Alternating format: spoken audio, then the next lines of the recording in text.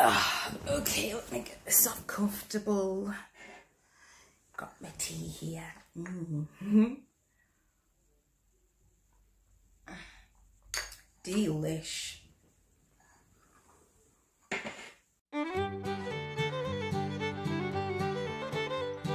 Hi, and welcome to Woven Worlds. So on the video of today, my soul sister is gonna take over. So I'll leave you now with my soul sister. Take it away, soul sister. So today, I want to talk about healthy boundaries. I couldn't keep going back and forth with the mug, so I'll just put it down. And excuse the, the acoustics. I'm in a different room in my house, so if it seems quite echoey, that's why. Setting boundaries is so important in life, no matter what type of relationship you have with those around you. They indicate to both yourself and others that you value your time and energy. And if you're like me, it can feel difficult and a bit scary to establish boundaries in the first place. I'm sure I'm not the only one who struggles with it. But for real, establishing healthy boundaries is so important for a variety of reasons. For one, they can reduce stress and anxiety if and or when you feel overwhelmed. This is important because stress can affect your everyday life in ways you never thought were possible. And who wants to live a life full of stress? Not me. Now, again, establishing boundaries can be very scary because someone being upset with you for changing and growing can be a little jarring. But what's more important? Not upsetting someone to keep the peace? Or knowing peace of mind is your birthright? It can't be both, sweetheart. You can't serve two masters. I say this as someone who still finds it difficult to find her voice when someone violates a boundary. Usually it's when I don't even realise I need a boundary there until I feel violated. You know, that feeling when someone says or does something to you that makes you feel very uncomfortable. I never grew up realising that boundaries were even necessary.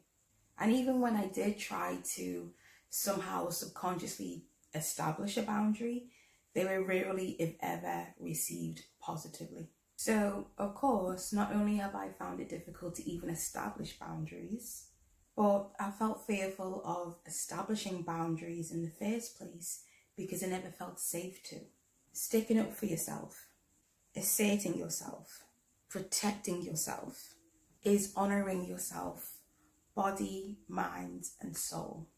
Doing the opposite is telling yourself and others that you don't love or respect yourself. And unfortunately, people will take advantage, sometimes without even realizing it.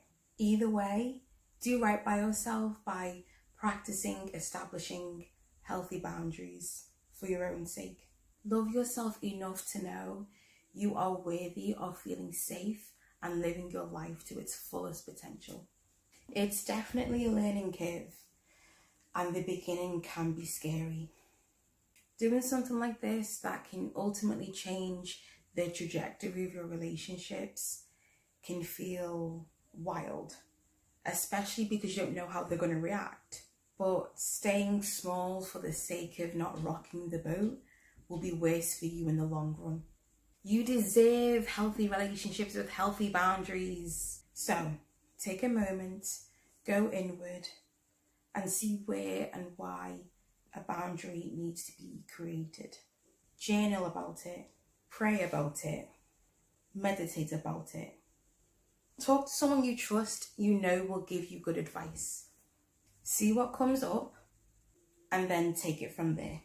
Then talk to the person who overstepped your boundary and be firm in your reasoning.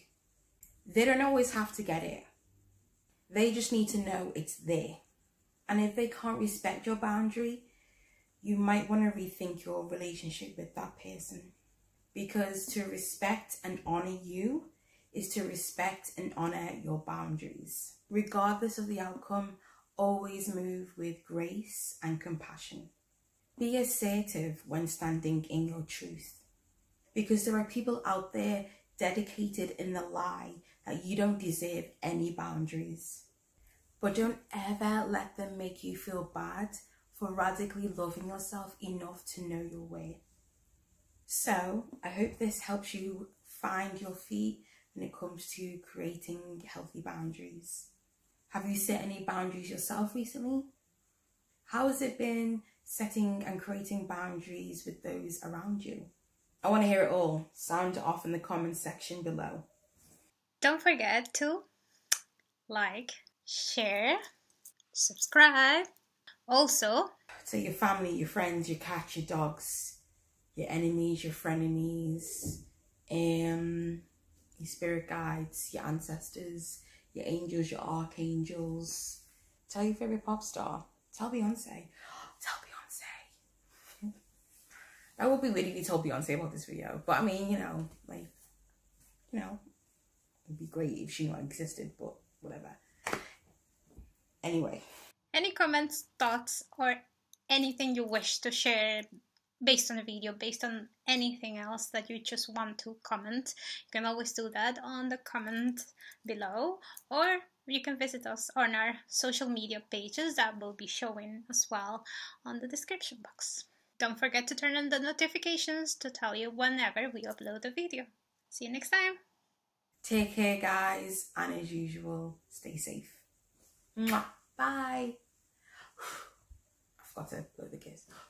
Bye.